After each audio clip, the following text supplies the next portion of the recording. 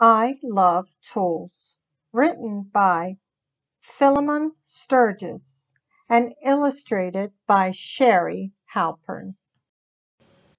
Tools, tools, tools. I like tools. I love my ruler.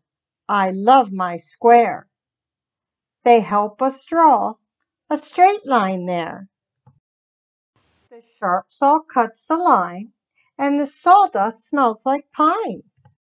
The hammer pounds a nail, and then, whoops, it pulls it out again. The chisel makes a groove or two. The drill will drill a hole right through. Why don't you spread a dab of glue? I'll twist the clamp, I'll clean the ooze. Let's make a perch the bird can use. The screwdriver twist in the screws. Sandpaper smooths it neat and clean. The paintbrush paints the outside green. Let's stencil on a leafy scene. Little bird, here's the best place you'll ever build a nest. Tools, tools, tools.